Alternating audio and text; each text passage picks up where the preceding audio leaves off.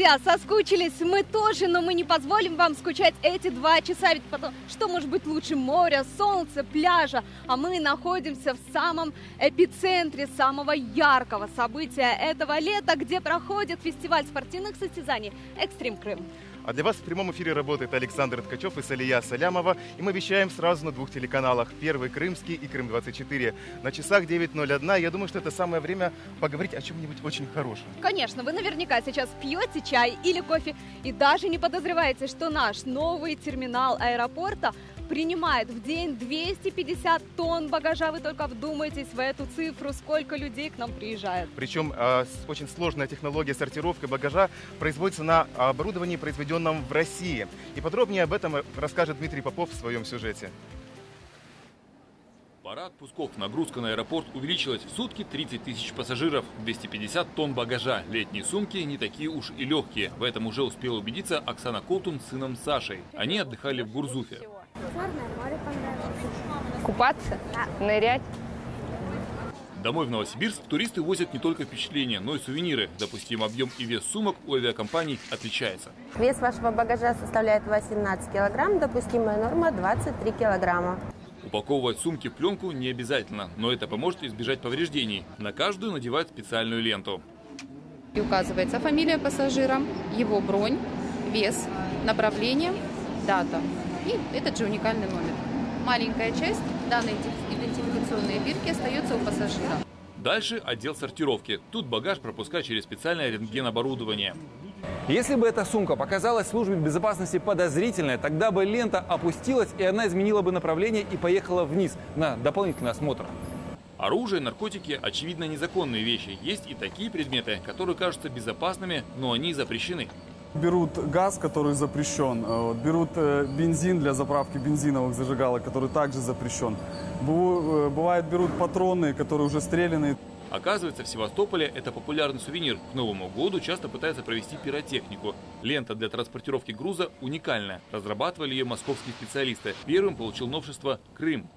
Все детали здесь отечественная. Система отличается от зарубежной тем, что можно регулировать высоту для удобства оператора в обработке багажа.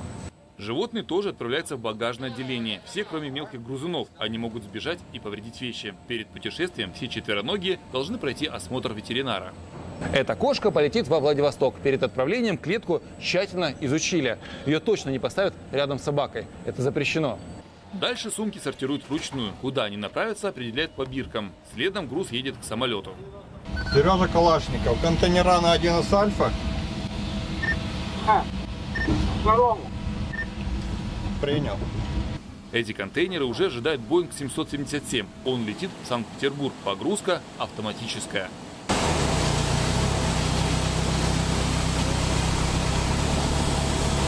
А этот аэробус прилетел из Москвы. После проверки технического состояния самолета сотрудники приступают к разгрузке. Первые пассажиры получат сумки через 15 минут после прилета.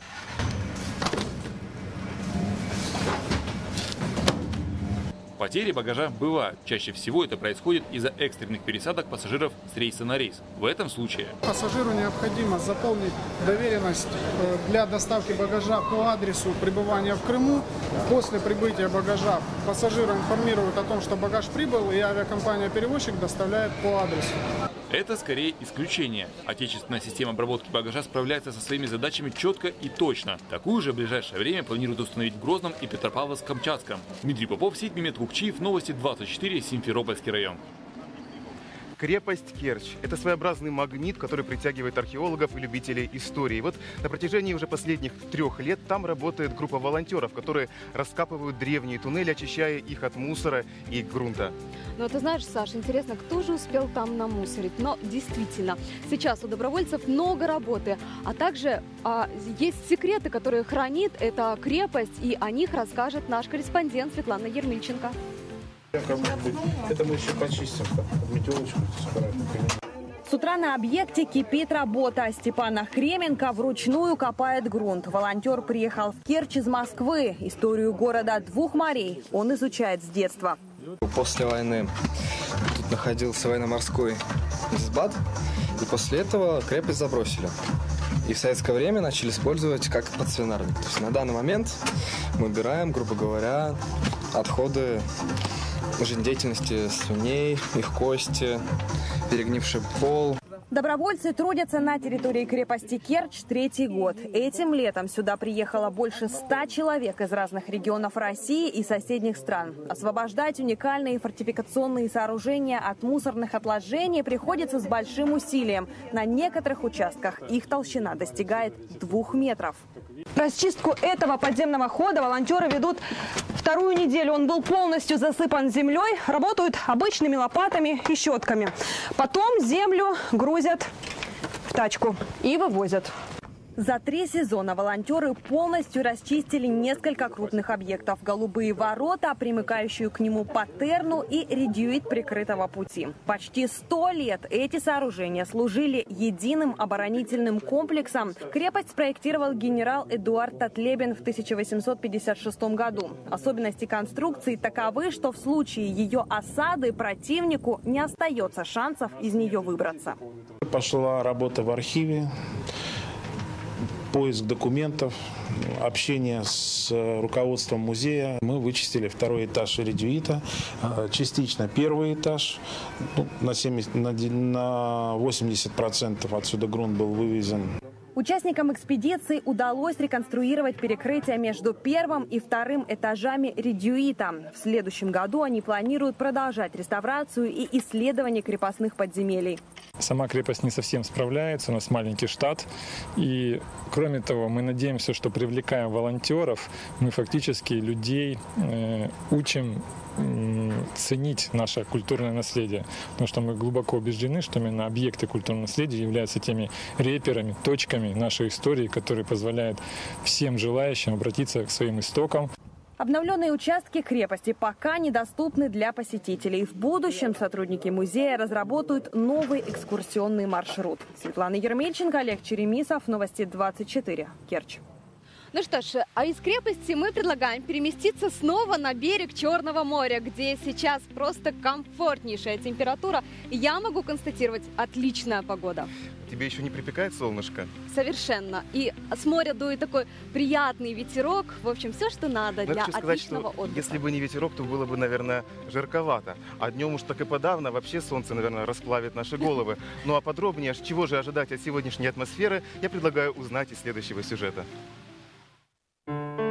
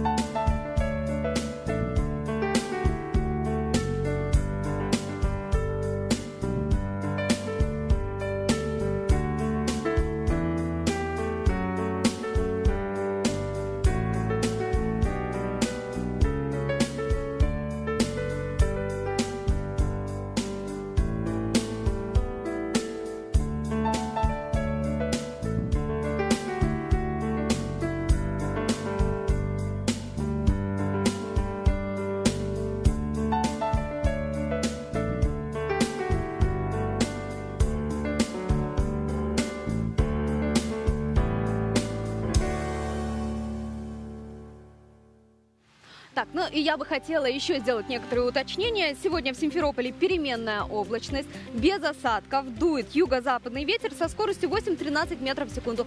Температура воздуха днем составит 33 градуса со Ну, в знаком плюс. Севастополе похожая температура и погода. Ветер тоже юго-восточный. а температура воздуха до 28 градусов тепла, а ветер 6-11 метров в секунду. Идентичная погода будет и в Ялте. Там тоже переменная облачность. Также не ожидается никаких дождей. И днем будет 32 градуса, тоже Ну, а жара. В Керчи, в Керчи чуть горячее, в Керчи до 32, и, в общем-то, тоже прекрасная погода без осадков. Но, кстати, синоптики предупреждают, что такая погода может продержаться недолго. То есть уже эта рабочая неделя начала, началась хоть и из тепла, а завтра ожидаются грозы и ливни. И такая погода придет к нам с северо-запада. То есть прям оттуда, где мы находимся. Ну, я думаю, что сия чаша наш, нас минет, и здесь будет такая же прекрасная солнечная температура. И ведь это очень важно, потому что именно здесь, на Экстрим Крыме, столько людей собралось, которые занимаются спортом, которые радуются солнцу, морю. И давайте не будем их расстраивать. Как говорят церковники, за благо растворения воздухов. Да. Но ты знаешь, Саш, такая погода, оказывается, нравится не только нам, людям, но также и попугаям, которые живут у нас в Гагаринском парке. Я, правда, их еще не встречала, но это объяснимо, потому что они пока что находятся в волье- вольере. Их оттуда не выпускали до сегодняшнего дня. Вот э, сегодня, буквально на днях, должны выпустить. Они адаптировали все это время, сейчас чувствуют себя комфортно и уже готовы летать по парку. Их можно будет там встретить в любой момент. Но нужно сказать, что эти попугаи называются неразлучниками, и они являются попугаями тропическими. Они а, и знают свой дом и всегда возвращаются а, том То месте, есть они не улетят живут. никуда, да? Не этом? улетят, они обязательно вернутся. А что касается попугаев, есть одна очень интересная порода попугаев, которые называются аж зеленые ожереловые попугаи. Так вот, эти попугаи, они самые, ну если можно сказать так, морозостойкие в мире. А, И они вполне могли бы жить в условиях Крыма. Интересно, что, например, целые колонии попугаев уже обитают, э, например, в Ташкенте. А, Половина Северной Европы, там, я имею в виду страны Скандинавии, в этих холодных городах, казалось бы, эти попугаи живут как голуби. И вот у меня такая мечта есть когда-нибудь у нас Завести? в Крыму да, завести пару десятков попугаев, их размножить, а потом выпустить. И представляешь, как было бы замечательно, если бы а, на Симферопольских площадях вместо а, Голубей? серых голубей, таких не- невз- невзрачных, были попугаи. Ну, Ведь здорово было бы. Не обижай голубей, они тоже нужны. Но э, действительно, попугаи чувствуют у нас хорошо. Вот даже те же самые неразлучники, попугайчики, которые живут в Гагаринском парке, они уже успели расплодиться. Если в прошлом году было 20 пар, то в этом году уже стало 40. То есть э, чувствуют они себя очень комфортно. Да, наши парки расцветают, и тут ничего не скажешь. И Гагаринский парк, и детский парк, везде все какое-то благоукрашение, и везде становится интересно. Ну вот, в частности, детский парк славен не только своими дубами, э, одними из самых старых в Крыму, но и коваными фигурами, у которых очень интересная судьба. А подробнее о ней расскажет Стефан Филатов. Вот так кованые фигуры в детском парке Симферополя выглядели совсем недавно. Обрывки объявлений, отломанные детали, неприличные надписи. Я бы схватила за руку, заставила бы родителей все это бы отмывать, очищать, наказывать за это. И тогда я думаю, что этих бы проявлений вандализма было бы намного меньше. То, что вот для нас делается, то, что благоустраивается, я считаю, что нужно ценить, уважать и приумножать. Сейчас на большинстве кованых фигур не осталось и следа вредительства. Граффити скрыты под слоями новой краски. Цвета, кстати, выбирали всем городом. Прежде чем начать обновление и покраску кованых фигур, администрация детского парка провела интернет-опрос. Жители Симферополя могли высказать свое личное мнение о том, какими цветами должны все эти конструкции пестрить. Когда речь зашла об этом гоночном болиде, большинством голосов был выбран именно вот такой оттенок синего. Этот цвет называется Монте-Карло. Согласитесь, говорящее название, как для такого автомобиля. Сделанные из грубых деталей, на самом деле эти автомобили интерактивные, что и привлекает маленьких посетителей парка. Дети в таких машинах чувствуют себя настоящими пилотами на Формуле-1, крутят руль, переключают передачи. Владулечка, только аккуратно и не сломай ничего. Ремонт и покраска кованых фигур выполнены на 90%, а сколько времени пройдет до следующего обновления, зависит только от нас с вами. Мы их не закрываем от посетителей, мы никогда не ограничиваем детей а, в чем-либо, но просто просим, будьте, пожалуйста, предельно аккуратны и осторожны. Облупившаяся краска и проступающая ржавчина. Волшебная повозка потеряла свой первозданный вид, но, как и раньше, собирает вокруг себя много ребятни. После ремонта карета наверняка станет еще популярнее у малышей. До конца июля администрация детского парка планирует обновить и покрасить все кованые фигуры, все кроме одной. Исключением стал этот паровоз. В сентябре его росписью займутся воспитанники одной из местных творческих школ. В выборе цветов и красок у ребят нет никаких ограничений. Стефан Филатов, Максим Турчев. Утро нового дня.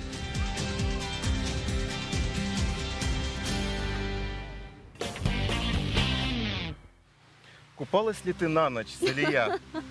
На ночь э, где, смотря в море или в душе? Можно уточнить. В море? Ну, как-то было дело, конечно же. Ну, на самом деле, довольно опасное мероприятие, поэтому не рекомендую. Но вот на самом деле вечерком почему бы нет? То есть вечером это до скольки? Пока светло. Пока светло. Но ты знаешь, у нас сейчас уже в студии находится тренер по плаванию. Вот Да. мы у нее и выясним, когда же лучше все-таки плавать. Я отправляюсь к ней. Отправляйся. А я, дорогие друзья, вам еще раз напомню, что плавание в море, в открытом водоеме – это весьма опасное мероприятие. И не стоит подходить к этому залихватски. Обязательно надо оценить себя и свое состояние. Уж если уж вы на, на душу приняли, ни в коем случае не окунайтесь в воду. По крайней мере, не плавайте далеко. А также не отпускайте детей в море, потому что, повторюсь, это источник опасности и может закончиться трагедией. Да, ну вот мы находимся на море и, конечно же, не можем не говорить о плавании, о тех методиках, которые можно применять не только в водоемах, как говорит Саша, а и вот, например, прямо здесь, где мы и находимся. Но представлю нашу гостью. У нас сегодня Мария Есина, тренер по плаванию. Здравствуйте. Доброе утро. Мария, ну вот меня интересует, вы больше километров в своей жизни прошли или проплыли все-таки? Э, Проплыла, наверное. Ну, здесь я прохожу порядка 27-25 километров. Очень насыщенный график, помимо того, что мы плаваем, тренируемся. Э, Хочется посмотреть э, близлежащие достопримечательности и пешком ходим к ним. В одну сторону 10 километров и обратно. Э, Получается 20. Немало вы проходите. Но вот вы сказали, вы тренируетесь. К чему вы готовитесь? А, Готовлюсь к заплывам на открытой воде в этот сезон, начиная с э, мая и по сентябрь. И непосредственно в бассейне тоже принимаю участие в соревнованиях. В бассейне можно получить э, звание, повысить свое звание на открытой воде. Это просто как э, увлечение для себя, проплыть определенное количество э, километров э, до и обратно. Но вот вы готовите профессиональных спортсменов. да, А, Не только понимаю? профессиональных спортсменов, приходят э, люди без базы. а, Без которые, базы это те, которые совершенно не умеют плавать или умеют, но неплохо так? э, держатся на воде, скажем, Держатся. держатся, на воде, делают звездочку, делают уже стрелочку. Это, это очень хорошо. У них уже нет страха воды. Они приходят э, с огромным желанием переплыть Босфор, Волгу, участвовать в других заплывах на открытой воде. Э, За месяц э, можно поставить э, базу, ну, дать технику, то есть человек уже будет плавать достаточно хорошо. И дальше для откатки буквально два месяца и можно ну, в десятку, Я бы хотела здесь Да. уточнить. Вы можете за месяц человека с нуля научить плавать так, что он сможет переплыть Босфор. Э, Босфор нет. Э, Но дать базу для того, чтобы можно плыть. Хотя даже ребенок может переплыть Босфор, и это правда, потому что течение на Босфоре э, иногда доходит до 7,5 километров в час. Нужно будет на старте побороться с течением, пройти по течению, тебе течение будет нести к финишу, и немного на финише тоже побороться против течения. Все. Ну вот я знаю, что сейчас как раз-таки там и проходят соревнования. А да, сейчас проходят соревнования. Это, ребята. наверное, международные, да? И там да, это Россия участвует. международный, межконтинентальный э, доплыть в Азию. Получается, межконтинентальный заплыв, да. А вот как наших пловцов вы оцениваете? Вообще вот Россия, она спортивная страна. Ну вот что касается плавания, ну как-то в этом плане не сильно она, наверное, гремит на международном А, конкурсе. Определенно наша страна спортивная и развита она по всем направлениям. А, Плавание, ну, я бы не сказала, что плавание у нас не развито. У нас просто немножко другие методики, и они отличаются от э, западных. У нас есть спортсмены, включая Ефимова и Морозова, которые тренируются у самого знаменитого тренера Америки Дэйва Сало, и при этом они занимают медали. Ну да, преимущественно те, которые тренируются у этого тренера, они забирают э, медали и восходят на пьедестал, да. Э, Наша методика немножко в России отличается тем, что наши спортсмены-пловцы, они выплывают километраж. Что это значит? Не совсем А, понятно. Есть э, прописанная программа, например, за тренировку проплыть 6,5 километров. И ребята должны за одну тренировку проплыть это заданное количество километров. Но здесь еще зависит от подхода. Можно страдая проплыть, как бы так сказать. э, эти километры, а можно играючи в состоянии потока их проплывать, при этом не замечать, э, что тренировка у тебя проходит. Это драфтинг, когда становится один спортсмен и другой спортсмен на одну дорожку или рядом. Один из них сильнейший, и ты стараешься его обогнать. И тогда время летит незаметно. Ты не замечаешь, когда заканчивается тренировка. И километраж у тебя уже закончен. Ну, а в вашей практике были случаи, когда вы говорили начинающему спортсмену, что извини, но тебе это не дано. Все-таки вот плавать ты, наверное, так не сможешь хорошо. А, Не сказать, что такие случаи были. Правда, в практике был очень интересный случай с девушкой. У нее были нарощенные ресницы, и ей очень сильно хотелось э, научиться плавать, только лишь потому, что она хотела стать на серф э, на Бали или на Шри-Ланке, точно уже не помню. И ну, чтобы научиться почувствовать воду, э, нужно первое время э, плавать э, ну, без очков. Без очков она вообще боялась. Не То есть, могла, не конечно, могла. ресницы мешают. Конечно, ресницы мешают. Я предложила все свои очки, и стартовые, и обычные, обтекаемые, необтекаемые. Ей очки не подходили. Мне было единственное предложение. Либо она э, снимает ресницы на месяц, но потом сделает свою красоту обратно. Э, Либо отказывается от плавания. К огромному сожалению, она отказалась Спортивная от плавания. карьера ее не сложилась Да, из-за ресниц. карьера не сложилась на серф. Я надеюсь, она все-таки встанет. Ну, а вот что касается детей, вот родители, которые к вам приводят своих деток, научить их плавать. Как вы учите? Вот какая у вас методика? Есть ли какие-то правила? Я, например, вспоминаю, как это было со мной. Мама меня укладывала себе на руку, да, а потом эту руку убирала. Но многие ругают эту методику. А, Сейчас очень распространено в России, но не в Крыму, грудничковое плавание. И начинают учить плаванию буквально с трех месяцев. А, Здесь больше вот ориентиры до года, до двух лет – это поправление здоровья, э, воздействие на все наши системы органа. Благоприятно плавание влияет в любом случае. Здесь как такового плавания нет, просто оздоровительная польза. Дальше уже идет плавание, освоение техник. И э, тоже зависит от ребенка, пикническое у него телосложение. Ну, если он такой крупненький, говорят, э, обычно не подходит э, для плавания. И астенник вытянутый, высокий, широкая спина, тогда да. И опять же, прежде чем попасть в спортивную школу, нужно пройти отбор. Там отжимания, челночный бег. Подождите, если ребенку 6 месяцев, какие отжимания? Нет, я говорю не про А, этих это уже- маленьких детей, да. Уже о Плавно- более плавно старшем возрасте. перетекаю, да, плавно перетекаю в разговор о взрослых, да, о взрослых ребятах. Вот. Отбор, профотбор. И ну, непосредственно смотрим на психологическую устойчивость. Готов ребенок э, работать, корпеть на результат или нет. Многие приходят, у меня э, ученица, которая, ну, которая была практически на отчислении в спортивной школе. Я работаю преимущественно с такими, которые идут на отчисление, я их вытягиваю на юношеские разряды, на взрослые разряды. А, Она пришла, чтобы научиться плавать. Ей просто хотелось научиться плавать, и потом как-то сложилась ее спортивная карьера. Сейчас она уже получила третий взрослый, и работаем на второй. Мы вам Девочке желаем, 9 чтобы, лет. Чтобы в вашей карьере было как можно больше таких спортсменов, которые бы приносили нам огромное количество наград нашей стране. Ну и, конечно же, вам удовольствие от работы с ними. Спасибо большое. Я напомню, у нас сегодня Мария Есина, тренер по плаванию. К этой теме мы еще обязательно вернемся, потому что, ну, извините, сама атмосфера к этому благоволит. А сейчас я перемещусь к своему коллеге Саше, а пока что вам предлагаю посмотреть новости интернета. Вот это гостеприимство на железнодорожном вокзале в Индии пассажиров поезда ждал неожиданный сюрприз. Им пришлось принять незапланированный душ. Как оказалось, незадолго до прибытия экспресса на перроне прорвало трубу.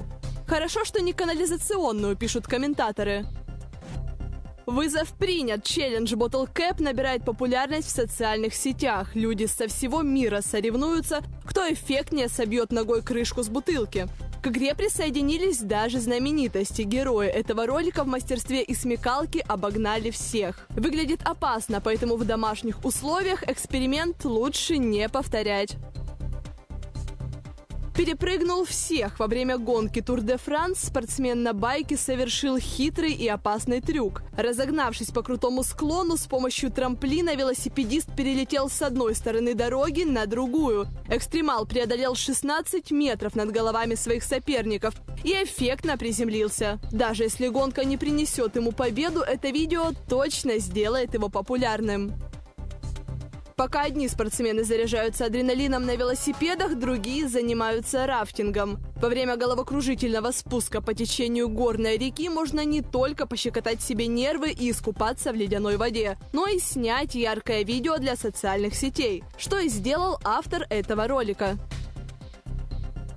Нас не обманешь. Парень из Краснодарского края решил узнать, насколько точно работают весы на рынке и устроил рейд по разным торговым точкам. Вооружившись килограммовой гирей под видом покупателя, он взвешивал ее везде, где только можно. В ходе расследования оказалось, что все весы показывали разные цифры. У одного продавца стрелка остановилась на отметке в полтора килограмма. Ты срываешь джекпот, ты бьешь все рекорды.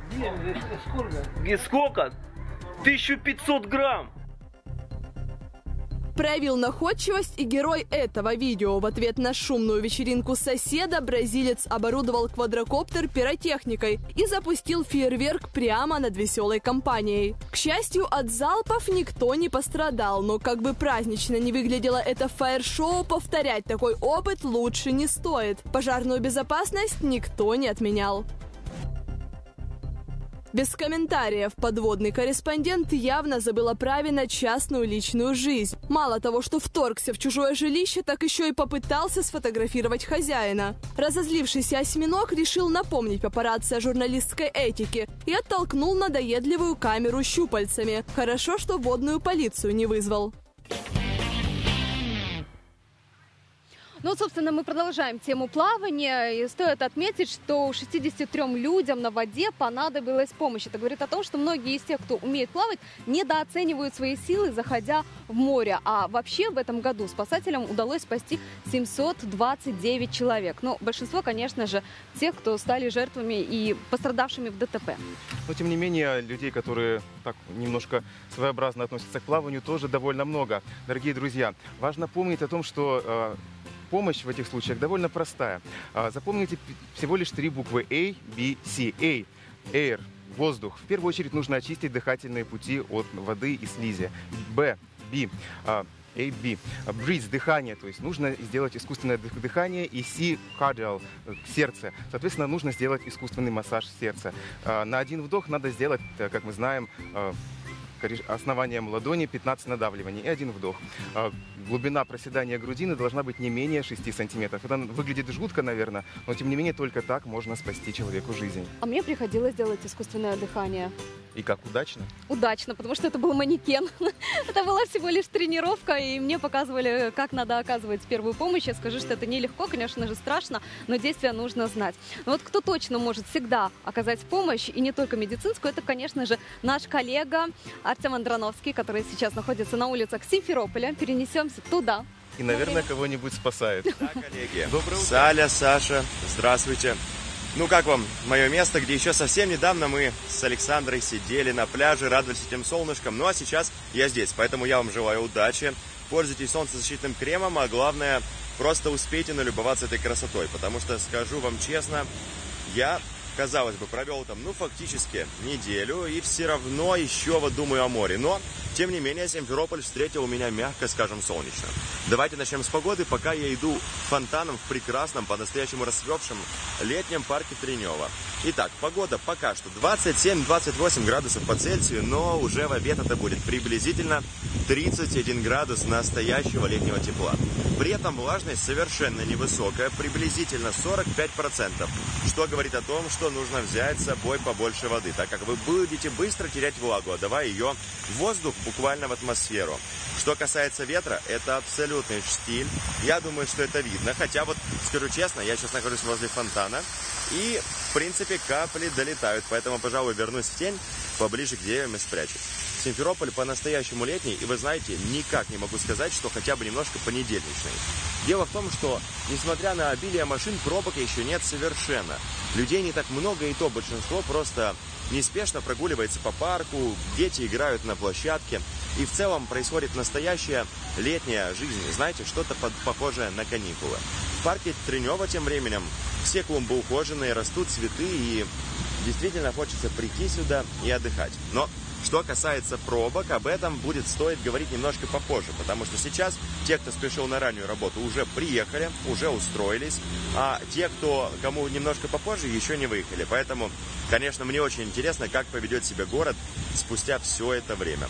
Появится ли побольше машин и, возможно ли, возникнут ли тянучки, заторы, но с этим я буду держать вас в курсе. По поводу погоды, боюсь, что уже ничего не изменится, и Симферополь будет по-настоящему летним, по-настоящему теплым и приветливым. Поэтому особенно интересно, как там сейчас обстоят дела в Оленевке. Наверное, если в Симферополе жарко, даже, я бы сказал, все же, точнее, тепло, то в Оленевке, я думаю, уже по-настоящему летняя жара. Но, тем не менее, я тоже буду держать вас в курсе, а главное, что расскажу кое-что интересное, потому что здесь действительно происходит большое количество событий, и, хочу сказать, тоже есть на что посмотреть. Поэтому, пока, коллеги, передаю вам слово, наслаждайтесь этим морем, этими видами.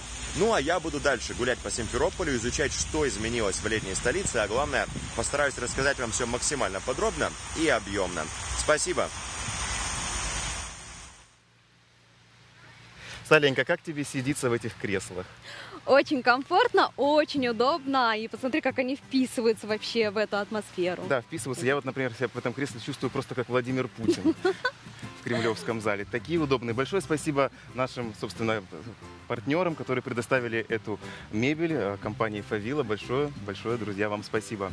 Спасибо за наше удобство. Удобство. Ну, ты знаешь, Саля, в этом году исполняется 111 лет одному великому человеку, крымчанину, симферопольцу Михаилу Чулаки, который написал книгу, а, которую должен прочитать, наверное, каждый. Вообще книга написана для студентов консерватории, и называется она «Инструменты симфонического оркестра». Вот я уверен, что даже ты, которая Ты не считаешь, имеет... что каждый должен прочитать эту книгу? Конечно, должен. Я уверен, что вот если ты прочитала, ты даже после этого сразу написала маленькую такую карманную симфонию какую-нибудь. Я, конечно, в этом сомневаюсь, но спасибо тебе за такую большую оценку моим способностям. Вот небольшую симфонию, правда, документальную, написал наш корреспондент Ольга Литвиненко. Она разбиралась в других инструментах, не симфонических, но не менее интересных, старинных. Об этом в следующем сюжете.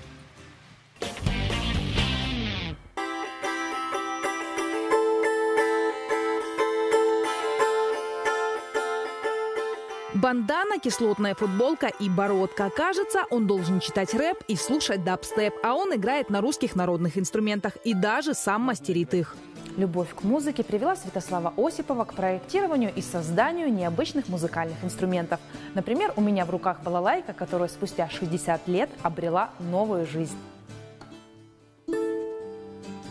С искусством моделирования Святослав познакомился в 17 лет и вскоре своими руками собрал первый инструмент. Тогда под звуки его самодельной гитары засыпал и просыпался весь двор. Теперь он изготавливает на продажу колесные лиры, кахоны и гусли. Я понял, что мне нужен станок. Я начал с разработки станка, который будет делать гусли. Потом перешел к разработке гуслей, которые будут делаться на этом станке. Ну и только потом, когда все детали были изготовлены, я уже непосредственно перешел к сборке, настройке. Вот. То есть около года на реализацию проекта. Гордость Святослава – колесные лиры или органистры. Это один из наиболее технологически сложных инструментов в репертуаре мастера. Без знания математики, законов акустики и, главное, идеального музыкального слуха здесь не обойтись. Расскажи, пожалуйста, откуда пошло увлечение создавать колесные лиры? Ну, изначально я музыкант, играю на электрогитаре, на обычной гитаре, еще на ряде инструментов. И мне хотелось инструмент, который будет, ну, прям очень необычный. Ну, я прошерстил интернет и нашел колесную лиру. Я понял, что это прям то, что мне надо. Первые колесные лиры появились в 12 веке у восточных славян. Под их разлив рассказывали сказки и пели колыбельные. Со времен Средневековья суть технологии изготовления инструмента почти не поменялась. Колесо будет находиться здесь. Поверх колеса будут натянуты струны. Они будут проходить через вот эту коробку. В ней будут находиться клавиши. Каждая клавиша будет отвечать за отдельную ноту. Исполнитель будет, нажимая на клавишу, менять звук, и вращать рукой колесо, пользуясь им как смычком. В мастерской Святослава несколько инструментов в процессе рождения. Уже через полмесяца они отправятся к своим владельцам как в Россию, так и за рубеж Испанию, Германию и Францию. За три года мастер изготовил порядка 40 таких лир. По его мнению, успех инструментов не только в уникальной акустике. Каждая лира имеет собственное лицо, кельтские узоры, анималистические рисунки. Их Святослав создает на компьютере, а затем выжигает лазерной установкой. Пять минут и узор готов. На каждую лиру уходит два месяца работы. Спрос на его инструменты постоянно растет. Судя по всему, мода на русскую народную музыку в мире набирает обороты. Ольга Литвиненко, Андрей Псом. Утро нового дня.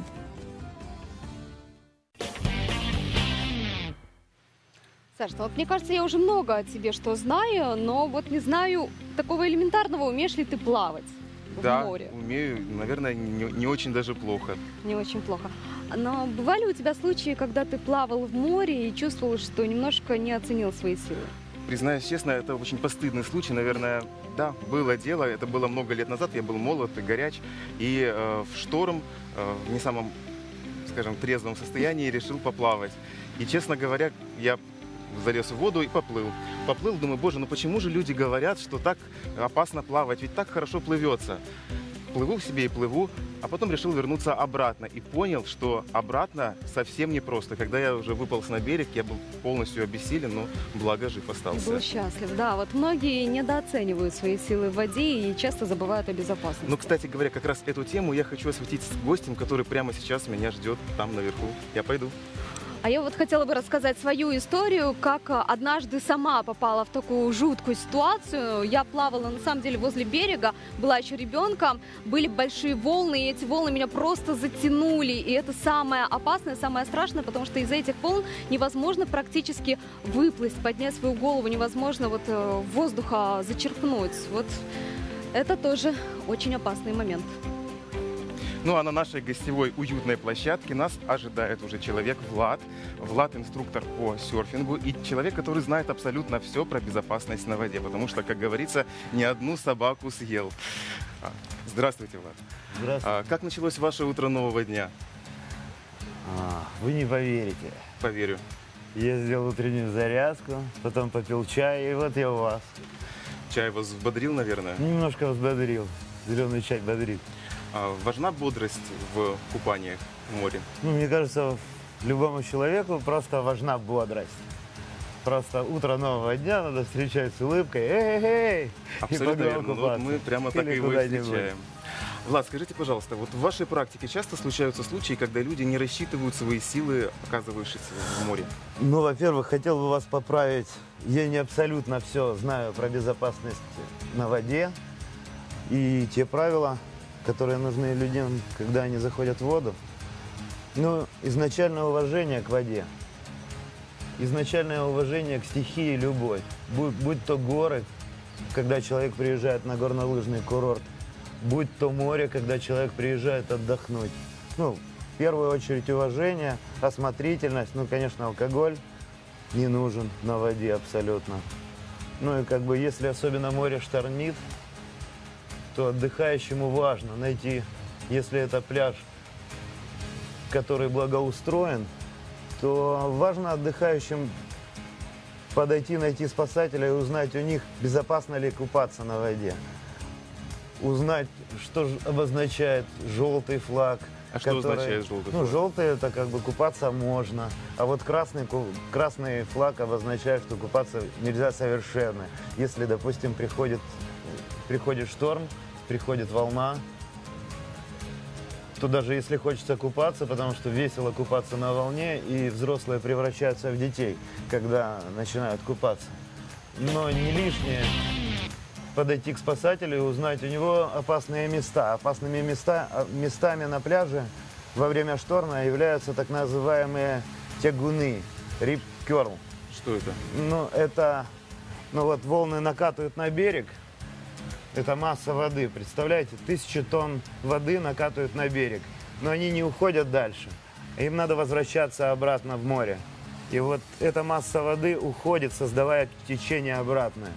Зачастую люди не знают об этом. Зачастую это, ну, это очень коварно и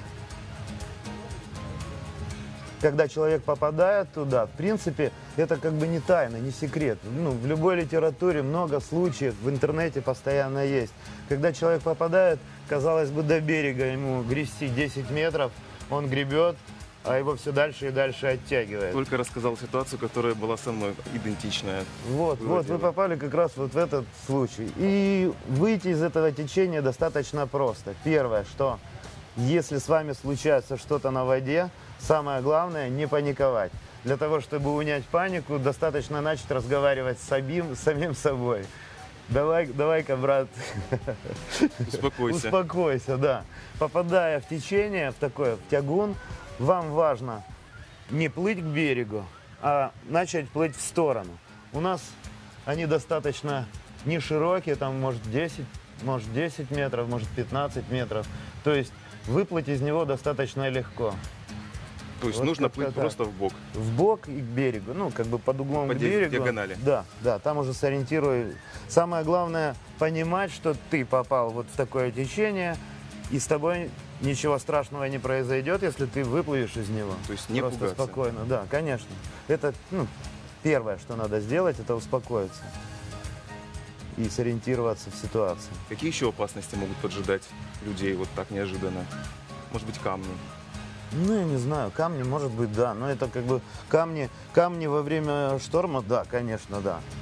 Конечно, да.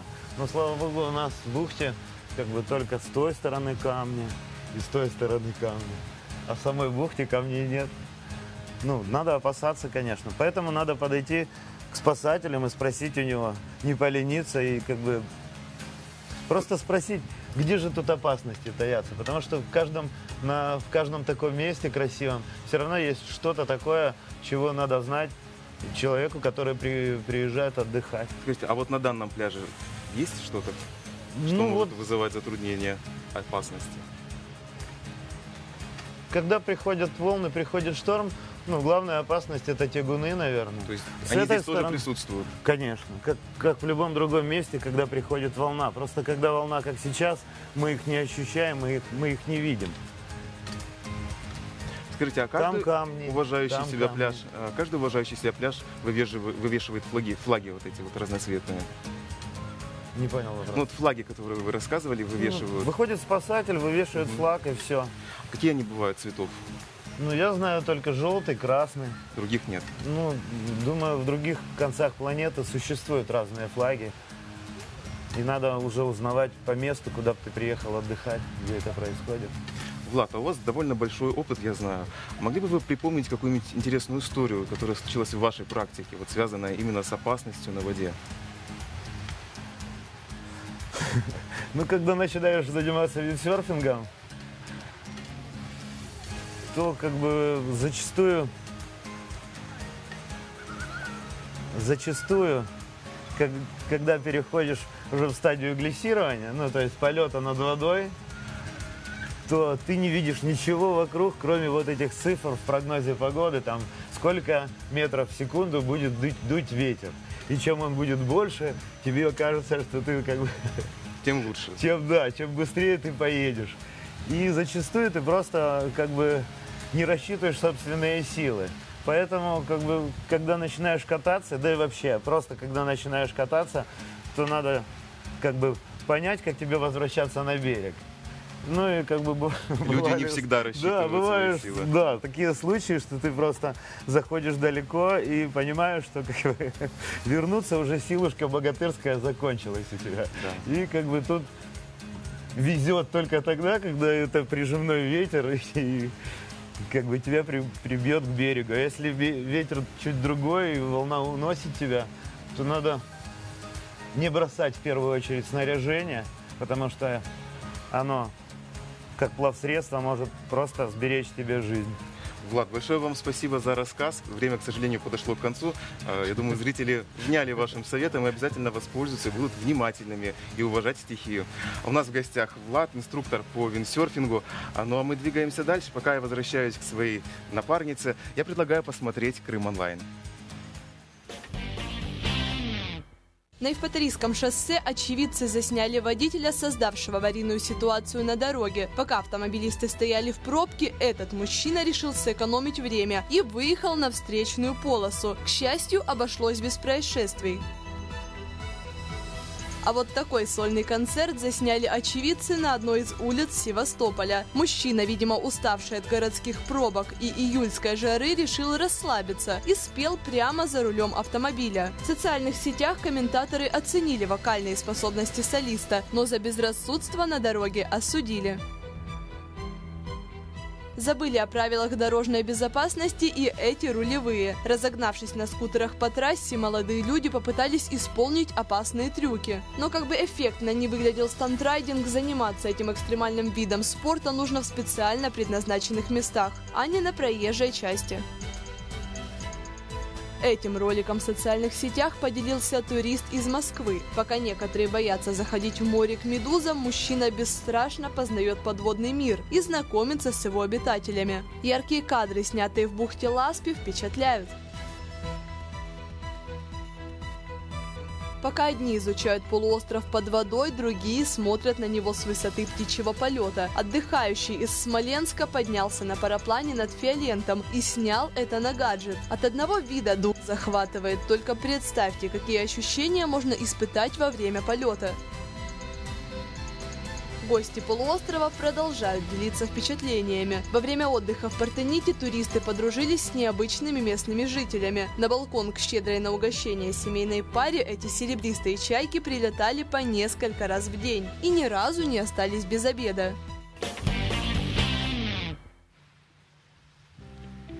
Ну что ж, Саш, вот недавно мы с тобой говорили об аэропорте Симферополь Только и не вот сказали о такой программе, которая у них, оказывается, действует, но мало кто о ней знает. Тайный пассажир. А Ну, что же это такое? Да, в общем, не думайте, что это надо следить за другими пассажирами или за работниками аэропорта. Нет, все намного проще. Вы, как пассажир, должны заполнить анкету, где 34 вопроса, и надо там ответить, например, что касается аэропорта, чего ему, что ему не хватает, что туда было бы хорошо привнести, какие инновационные техники могли бы появиться, ну и так далее. А также вы оцениваете по пятибальной системе и отвечаете, как я уже сказала, на 34 вопроса. Вообще эта программа, оказывается, действует уже три года, но за это время пока что только около ну, 300 человек и приняло участие, в этом году 100. Я думаю, что если все мы присоединимся, ну, конечно же, главным условием должно быть то, что мы должны быть пассажирами, мы должны хотя бы раз побывать в этом аэропорту, то тогда мы можем помочь стать ему еще лучше. Хотя, мне кажется, уже просто некуда. Саря, ты знаешь, мне очень обидно. Мне очень обидно, что все говорят, а, вот аэропорт, аэропорт, и совсем забыли про наши вокзалы. Ты знаешь, как была старая кукла любимая, потом дали новую, про старую совсем забыли. Но забывать ненадолго, потому что совсем скоро, уже в этом году, а, к нам приедет первый а, Уже в декабре железнодо- это, да, декабре будет. железнодорожный состав, по мосту приедет он. Это будут шикарные двухэтажные вагоны. Кстати, недавно мы об этом рассказывали в Крым онлайн. Ну и вот, собственно говоря, вокзал ждет гостей и всячески, как настоящая красавица, готовится, марафетится. И вот одна из достопримечательностей вокзала, башня с часами, это, наверное, все-таки символ Симферополя, символ ворот Крыма. И подробнее о всех ее тайнах вам расскажет наш корреспондент Татьяна Валыгина.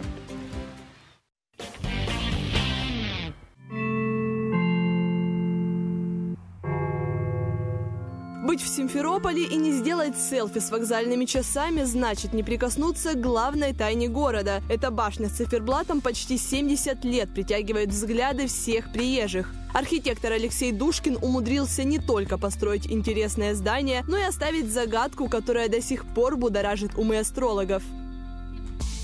Кто-то внес путаницу в расположение знаков. Существует легенда, что в часах зашифрована судьба Крыма. Неправильное расположение знаков зодиака придает им таинственность. Кроме того, вместо девы, весов и тельца изображены змееносец, гончие псы и лебедь. И железнодорожные ворота, и башню строили пленные немцы. Проект, естественно, был одобрен на самом высоком уровне. Материалы использовали только лучшие. Инженеры посчитали, что на постройку этого сооружения, вот этой опорной башни, ушло порядка 20 миллионов кирпичей красных. Ну и обшито оно, конечно, плиткой. Вот он, главный смотритель времени. Николай Есиков уже два года следит за точным ходом симферопольских часов. За время своего существования часы ломались только один раз. Практически все механизмы сохранились с 1952 года. Заменили только латунную шестеренку и стрелки. По словам механика, без перебоев проработает еще лет 50. Мало кто знает, что вокзальная башня – это еще и водонапорная вышка. Трубы и краны соседствуют с часовым механизмом. Она необходима была для снабжения железнодорожного узла и частично железнодорожного района питьевой хорошей водой. Высота постройки вместе со шпилем 42 метра, всего в ней 4 уровня. Внутри тишина и стук часов. Огромные противовесы бесшумно двигают шестеренки. Все устройство механическое и только бой курантов электронный. Компьютер стоит в помещении, чуть дальше там, а динамики вынесены на саму башню. Сердце башни на третьем уровне. Как ни странно, здесь нет огромных деталей. Заводят часы раз в 10 дней. Механику необходимо сделать 40 оборотов с весом более 200 килограммов.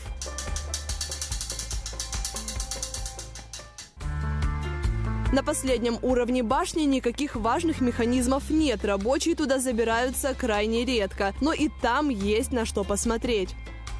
Вот такой потрясающий вид открывается со смотровой площадки на часовой башне железнодорожного вокзала. Видно практически весь город. А еще хорошо видно, как готовится вокзал к прибытию первого поезда с материка. Рабочие укладывают плитку, машины подвозят стройматериалы. Уже в декабре на перрон сойдут пассажиры из Москвы. И, конечно же, сделают фото на память с загадочным циферблатом. Татьяна Балыкина, Сергей Козырь. Утро нового дня. Ну вот, Саша, то, что наша башня была когда-то водонапорной, я знала, но никогда не видела, как она выглядела изнутри. Можно сказать, для меня это была тайна, покрыта мраком, а сейчас эта тайна уже наяву. Ну вот еще одна тайна, которая стала открыта археологам на некрополе Кыс-Аул, что находится на Керченском полуострове. Там был обнаружен неразграбленный античный склеп. И вместе с тем там были обнаружены 12 э, похороненных э, тел, но э, вот как археологи предполагают, это была либо одна семья, либо люди одного рода. Но вот самое интересное это то, что склеп никто до этого не трогал.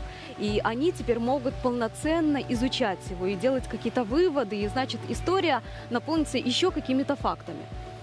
Очень много за последние годы сделано археологических открытий, особенно на Керченском полуострове. Там, как мы знаем, город Митридат был, а, который полон был античности. Ну, в общем, это довольно интересно. А вот другой момент. Вот наш корреспондент Артем Андроновский находится на улицах Симферополя. Он может как археолог найти там что-нибудь интересное? Как ты думаешь? Я думаю, он не как археолог, а как корреспондент обязательно что-то интересное для нас нашел и сейчас расскажет об этом. А давай у него и спросим. Артем, доброе утро. Сейчас доброе я утро. нахожусь буквально в самом сердце крымской столицы. На улице Горького, и здесь я не просто так. Собираюсь с вами поговорить об одной из самых актуальных для большинства жителей Симферополя, да и автомобилистов проблеме. Все дело в том, что парковочные места на этой улице, мягко скажем, ограничены. И уже с утра, а ведь еще нет даже 10 часов, их уже заняли практически все. Сейчас я вам это продемонстрирую и вместе с вами подумаем, что с этой проблемой делать. Как видите, по мою левую руку осталось, ну разве что вот одно последнее место, и то его прямо сейчас занимает припарковывающийся автомобиль. И так вдоль всей улицы. Если идти спускаться вниз, то вниз по Горького, то вы обнаружите, что она занята практически вся. Я, между прочим, попробую пройтись вместе с вами и вот убедиться в этом на своем примере. Выхода, конечно, как такового на данный момент нет, потому что всем этим людям нужно где-либо припарковаться, нужно приехать сюда на работу, по делам, или, возможно, сходить в магазины. Но проблему решать нужно однозначно, потому что Фактически двухполосная улица превращается в узкий коридор, по которому протиснуться или проехать совсем не так просто. Я сейчас постараюсь выпустить автомобиль, хотя я думаю, что лучше пройду вместе со всеми, и мы продолжим нашу дорогу дальше. И поэтому этот вопрос можно решать либо установкой паркингов, либо запретом въезда автомобилей в центр непонятно, потому что этим вопросом должны заниматься специалисты. Но решение однозначно необходимо, учитывая, что я иду уже в течение, думаю, что двух минут наблюдаю за тем, как протекает движение и, не, и до сих пор не нашел ни одного парковочного места. То есть вы представляете, что если бы мы прибыли сюда на автомобиле, а они остановились где-нибудь заранее, то припарковаться мы бы не смогли в принципе. Но, ладно, об этом пока не будем, а я постараюсь дальше посмотреть, э, как обстоят дела с парковочными местами. Я расскажу вам об одном удивительном плюсе. Вернувшись из степи, уже такой весь одичалый и отвыкший от э, ситуации в городе, стараясь перейти по переходу, я был приятно удивлен тому, насколько, насколько чисто на улице Горького. Все дело в том, что прямо сейчас на моих глазах сотрудницы э, города убирают и подметают мусор за симферопольцами. И это прекрасно, прекрасно, что я иду по чистой, вымытой фактически плитке. Но вокруг меня не лежит ни одной пластиковой бутылки, ни одной упаковки. Ничего напоминающее о том, что еще вчера, воскресенье вечером, здесь гуляла молодежь. Но, тем не менее, я лишний раз хочу напомнить, что следить за своим городом должны не только сотрудники службы, отвечающие за его чистоту, но и сами граждане. Поэтому то, что бутылки, бумажки и пачки из-под сигарет убираются, это, безусловно, прекрасно. Но было бы еще лучше, если бы их убирать не приходилось бы и вовсе. Поэтому, уважаемые симферопольцы, прошу вас обязательно выкидывать все в урну. Никогда не выкидывать ни бычки, ни стаканчики на землю. Надеюсь, что они переработаются. То же самое касается и салфеток. А еще более важным, в принципе, мусор уносить с собой, если урны нет. Ну что же, а возвращаясь к нашему автомобильному вопросу, коллеги, до сих пор не нашел ни одного автомобильного места, так что могу точно сказать, что припарковаться на улице Горького сегодня будет совсем не так просто. Поэтому на этом передаю вам слово, а сам буду двигаться дальше, потому что, поверьте, в Симферополе еще есть что показать. Тем более, что меня здесь давно не было, и многое для меня теперь, ну, не в новинку, но, пожалуй, что с непривычки кажется удивительным. Спасибо.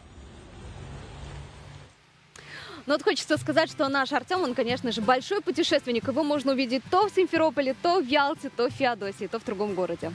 И поэтому, собственно говоря, он не теряет времени и выходные проводит с пользой, посещает достопримечательности. Об одной из них, уникальных, но, к сожалению, на время утраченных, он расскажет прямо сейчас в следующем сюжете.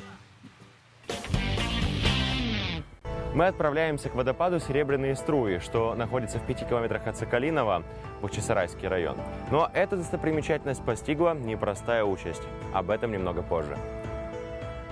Хорошо, что подъем облагорожен удобными ступенями. Впрочем, комфортному прохождению маршрута способствует и удобная система обозначений. Дорога к водопаду поросла зеленой буковой аркой. Многовековые деревья стерегут покой, тишину этих мест. Но, что интересно, эти растения эндемики, то есть они растут в Крыму и на высоте более тысячи метров над уровнем моря. Витьеватая дорога уходит все дальше в чащу. Стремительный водный поток фактически пропадает из виду. Только прислушайтесь. А значит, нам туда. Неподалеку нам встречается карта местности. Уже ветхое, надломленное напоминание былой популярности туристического маршрута. Присутствие человека ощущается даже в таком глубоком лесу. И несмотря на достаточно ветхое состояние, это служит на пользу пешему туризму. Сквозь шелест листвы спокойной гармонией звучат прозрачные струны водопада. Еще поворот, и мы у заветной цели. Ну вот мы и пришли. Водопад «Серебряные струи». Давайте спустимся поближе и рассмотрим это чудо крымской природы. Практически три года назад облик водопада изменился навсегда. Большая часть туфовой шапки обрушилась вниз. Горная порода упала под воздействием множества факторов, но главным из них является мороз. Обледеневший водопад отяжелел, и древнее наслоение, не выдержав веса, откололось. Посмотрите, огромный пористый массив спрятал водопад от глаза пешего туриста. Но, обладая достаточной смелостью и ловкостью, можно пробраться к воде, ощутив на себе бодрящую силу серебряных струй. Спрятанный за туфом водопад прохладным потоком устремляется вниз. Купаться здесь теперь небезопасно, но это никак не мешает насладиться красотой и грацией стекающих по обомшелой поверхности струй. И пусть он навсегда изменил свой облик, место все еще хранит ту красоту нетронутой природы, ту мощь бьющего ключом горного потока. Живописный водопад был не единственной целью на нашем пути. Дальше нас ждет финал нашего путешествия, но на этот раз не природный, а рукотворный. Сложно поверить, но глубоко в лесу, среди буковых зарослей, расположен бассейн, не самого обычного назначения. В нем когда-то выращивали благородную рыбу. Ну, наконец-то, спустя два километра пути, Юсуповское озеро. Искусственный водоем-питомник, в котором выращивалась форель, специально к столу князя Юсупова. Вода здесь имеет удивительно бирюзовый цвет. Дальше идти некуда, но, признаться, и совершенно не хочется. Артем Андроновский, Анатолий Агеев. Утро нового дня.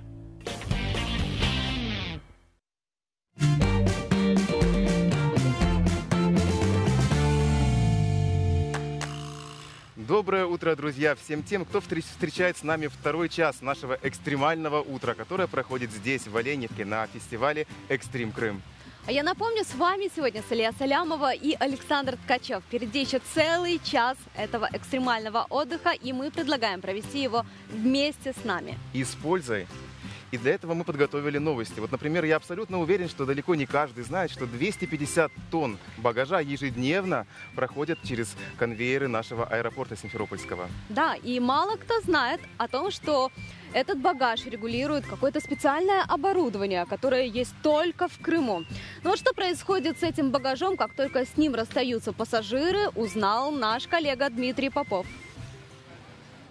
Пора отпусков. Нагрузка на аэропорт увеличилась в сутки 30 тысяч пассажиров, 250 тонн багажа. Летние сумки не такие уж и легкие. В этом уже успела убедиться Оксана Колтун с сыном Сашей. Они отдыхали в Гурзуфе. Купаться? Нырять? Домой в Новосибирск туристы возят не только впечатления, но и сувениры. Допустим, объем и вес сумок у авиакомпаний отличается. Вес вашего багажа составляет 18 килограмм, допустимая норма 23 килограмма. Упаковывать сумки в пленку не обязательно, но это поможет избежать повреждений. На каждую надевают специальную ленту. И указывается фамилия пассажира, его бронь, вес, направление, дата и этот же уникальный номер. Маленькая часть данной идентификационной бирки остается у пассажира. Дальше отдел сортировки. Тут багаж пропускают через специальное рентген-оборудование. Если бы эта сумка показалась службе безопасности подозрительной, тогда бы лента опустилась, и она изменила бы направление и поехала вниз на дополнительный осмотр. Оружие, наркотики – очевидно незаконные вещи. Есть и такие предметы, которые кажутся безопасными, но они запрещены. Берут газ, который запрещен, э, берут э, бензин для заправки бензиновых зажигалок, который также запрещен. Э, бывает, берут патроны, которые уже стреляны. Оказывается, в Севастополе это популярный сувенир. К Новому году часто пытаются провести пиротехнику. Лента для транспортировки груза уникальная. Разрабатывали ее московские специалисты. Первым получил новшество Крым. Все детали здесь отечественная. Система отличается от зарубежной тем, что можно регулировать высоту для удобства оператора в обработке багажа. Животные тоже отправляются в багажное отделение. Все, кроме мелких грузунов. Они могут сбежать и повредить вещи. Перед путешествием все четвероногие должны пройти осмотр ветеринара.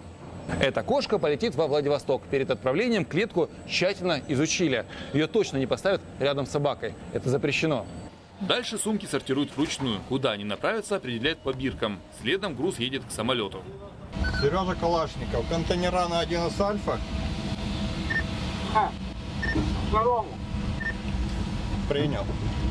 Эти контейнеры уже ожидает Boeing 777. Он летит в Санкт-Петербург. Погрузка автоматическая.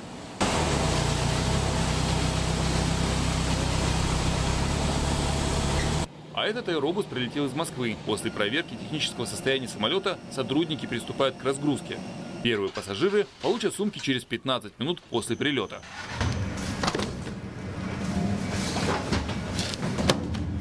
Потери багажа бывают. Чаще всего это происходит из-за экстренных пересадок пассажиров с рейса на рейс. В этом случае пассажиру необходимо заполнить доверенность э, для доставки багажа по адресу пребывания в Крыму. После прибытия багажа пассажира информируют о том, что багаж прибыл, и авиакомпания-перевозчик доставляет по адресу. Это скорее исключение. Отечественная система обработки багажа справляется со своими задачами четко и точно. Такую же в ближайшее время планируют установить в Грозном и Петропавловск-Камчатском. Дмитрий Попов, Сеть Кукчиев, Новости 24, Симферопольский район.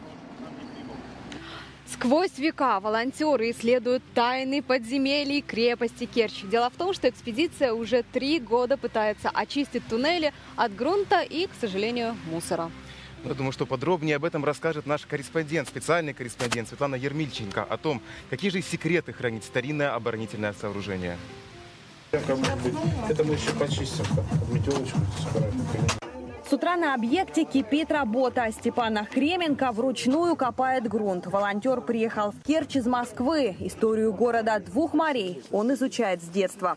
После войны тут находился военно-морской избат. И после этого крепость забросили. И в советское время начали использовать как подсвинарник. То есть на данный момент мы убираем, грубо говоря, отходы жизнедеятельности свиней, их кости, перегнивший пол.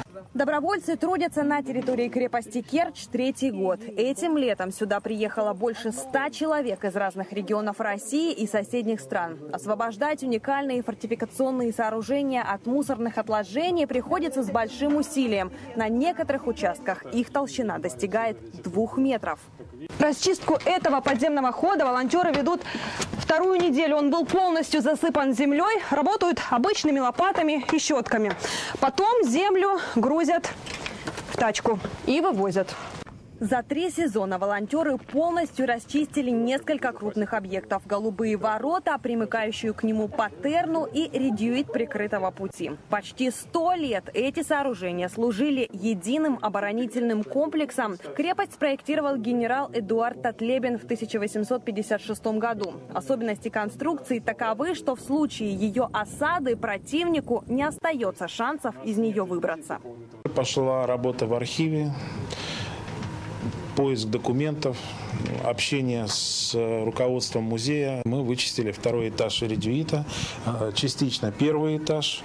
Ну, на, 70, на, на 80% отсюда грунт был вывезен. Участникам экспедиции удалось реконструировать перекрытие между первым и вторым этажами редюита. В следующем году они планируют продолжать реставрацию и исследование крепостных подземелий. Сама крепость не совсем справляется, у нас маленький штат. И, кроме того, мы надеемся, что привлекаем волонтеров, мы фактически людей э, учим ценить наше культурное наследие. Потому что мы глубоко убеждены, что именно объекты культурного наследия являются теми реперами, точками нашей истории, которые позволяют всем желающим обратиться к своим истокам. Обновленные участки крепости пока недоступны для посетителей. В будущем сотрудники музея разработают новый экскурсионный маршрут. Светлана Ермельченко, Олег Черемисов, Новости 24, Керчь. Салия, скажи, поддерживаешь ли ты распространенную точку зрения, что все девушки и женщины, и даже девочки коварны? Я бы сказала, что мужчины тоже коварные. Это почему? Ну, потому что это слово на самом деле означает мастер, умный, знающий свое дело. Ведь оно произошло от такого хорошего слова, как ковка, ковать. И когда-то оно имело именно хорошее значение, а потом со временем его семантика поменялась. Из-за женщин. Может быть, из-за женщин, а может, из-за мужчин. Кто же его знает? Ну, теперь уже, наверное, никто не разберет. Но, тем не менее, вот в детском парке, я знаю, есть прекрасные кованые фигуры, которые а, со всех сторон облюбовали именно дети. Именно дети. Но я думаю, что не только дети, но также и взрослые периодически приходят на них посмотреть. Более подробно расскажет наш корреспондент Стефан Филатов. Вот так кованые фигуры в детском парке Симферополя выглядели совсем недавно. Обрывки объявлений, отломанные детали, неприличные надписи. Я бы схватила за руку, заставила бы родителей все это бы отмывать, очищать, наказывать за это. И тогда я думаю, что этих бы проявлений вандализма было бы намного меньше. То, что вот для нас делается, то, что благоустраивается, я считаю, что нужно ценить, уважать и приумножать. Сейчас на большинстве кованых фигур не осталось и следа вредительства. Граффити скрыты под слоями новой краски. Цвета, кстати, выбирали всем городом. Прежде чем начать обновление и покраску кованых фигур, администрация детского парка провела интернет-опрос. Жители Симферополя могли высказать свое личное мнение о том, какими цветами должны все эти конструкции пестрить. Когда речь зашла об этом гоночном болиде, большинством голосов был выбран именно вот такой оттенок синего. Этот цвет называется Монте-Карло. Согласитесь, говорящее название, как для такого автомобиля. Сделанные из грубых деталей, на самом деле эти автомобили интерактивные, что и привлекает маленьких посетителей парка. Дети в таких машинах чувствуют себя настоящими пилотами на Формуле-1, крутят руль, переключают передачи. Ладулечка, только аккуратно, не сломай ничего. Ремонт и покраска кованых фигур выполнены на 90%, а сколько времени пройдет до следующего обновления, зависит только от нас с вами. Мы не закрываем от посетителей, мы никогда не ограничиваем детей а, в чем-либо, но просто просим, будьте, пожалуйста, предельно аккуратны и осторожны. Облупившаяся краска и проступающая ржавчина. Волшебная повозка потеряла свой первозданный вид, но, как и раньше, собирает вокруг себя много ребятни. После ремонта карета наверняка станет еще популярнее у малышей. До конца июля администрация детского парка планирует обновить и покрасить все кованые фигуры. Все, кроме одной. Исключением стал этот паровоз. В сентябре его росписью займутся воспитанники одной из местных творческих школ. В выборе цветов и красок у ребят нет никаких ограничений. Стефан Филатов, Максим Турчев. Утро нового дня.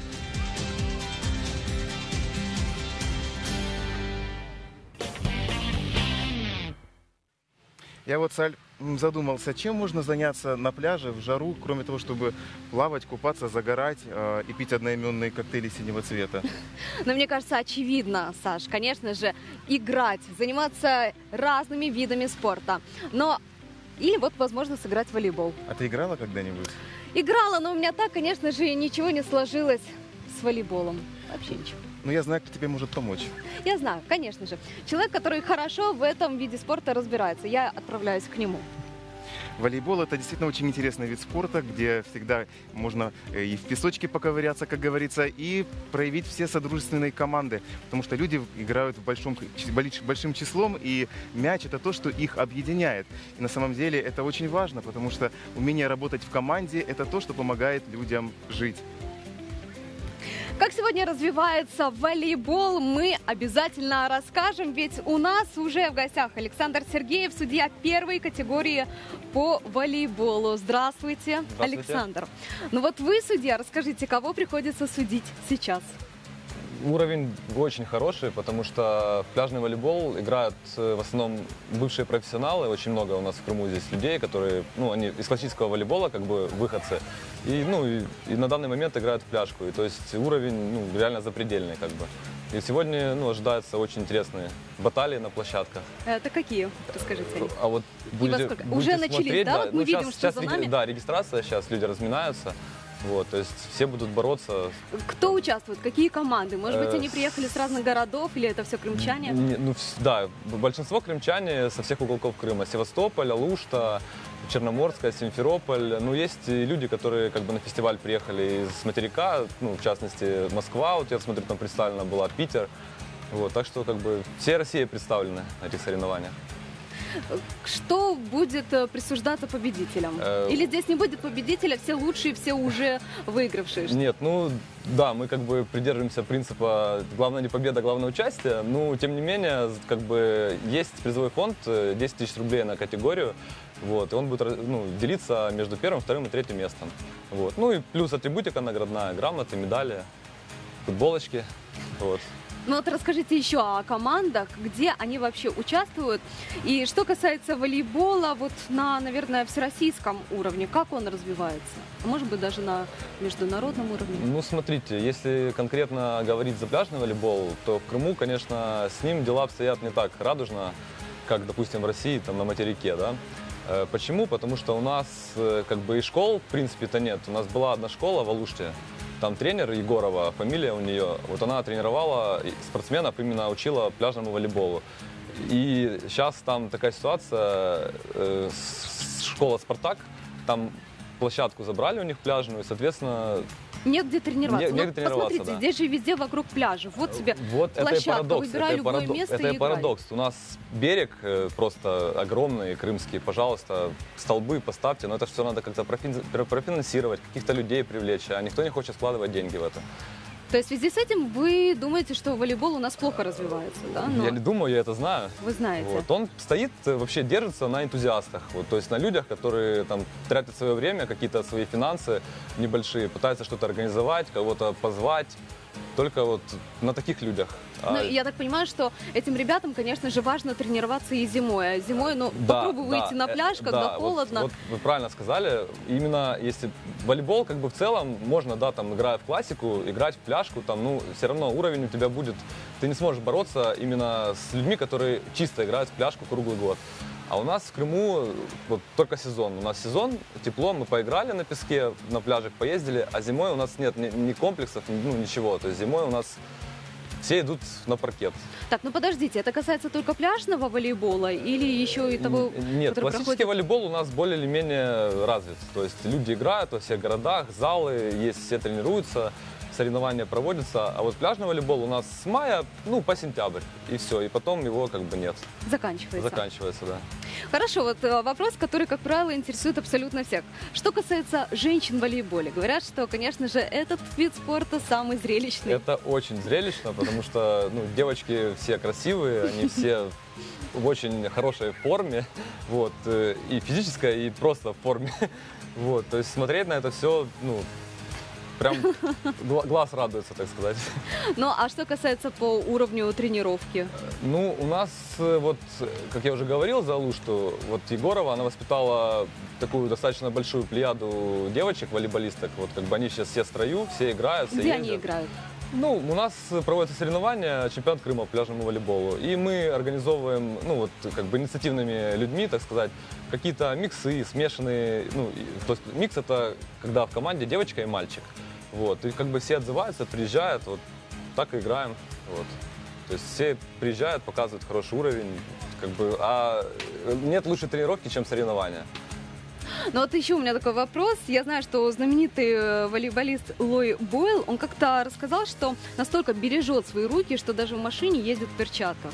Вот действительно волейболисты так относятся? Ну, э, да, ну, он, во-первых, этот волейболист, он, э, у него амплуа связующий игрок, то есть его руки, это как бы, ну, его хлеб, можно так сказать. Конечно, он как бы бережно к ним относился, потому что, ну, не дай бог, ты там что-то повредишь себе, там, все, ты не сможешь пасовать на должном уровне, и тебя, соответственно, никто не пригласит в хорошую команду, не приложит хороший контракт. Поэтому так и сказал.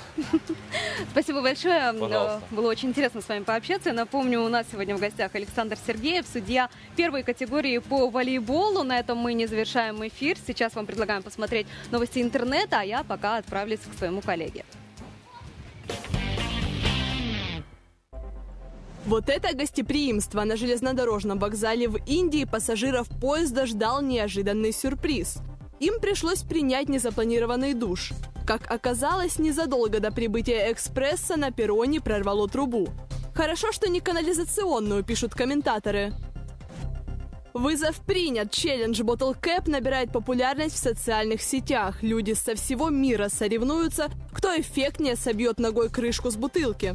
К игре присоединились даже знаменитости. Герои этого ролика в мастерстве и смекалке обогнали всех. Выглядит опасно, поэтому в домашних условиях эксперимент лучше не повторять.